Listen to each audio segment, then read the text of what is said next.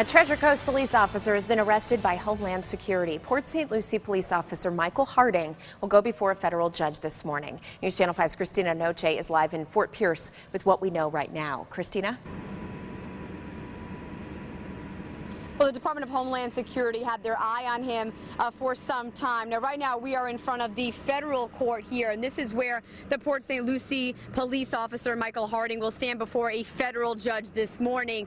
We are still waiting to hear uh, the charges. That, so far, is being kept under the radar since his arrest, but we will know that in just a few hours. Now, take a look at this. This is a picture of Officer Harding when he was named Officer of the Year. This was back in 2011 when he worked for Fort Pierce. Workers the St. Lucie County Jail tell us that Officer Harding requested a document uh, that keeps his personal information from being released on the jail's website. It's something that when you're a police officer and you are arrested, you have the right to do. That way, uh, you will not be able to look up your charges on the website like we would anyone else that was arrested. But this morning at the courthouse here at 8:30, he will be there in front of a judge. It is a federal courthouse, so our cameras will not be allowed in, but I will be inside there and we'll be tweeting out any updates updates as soon as we get them. You can also get updates on our WPTV app.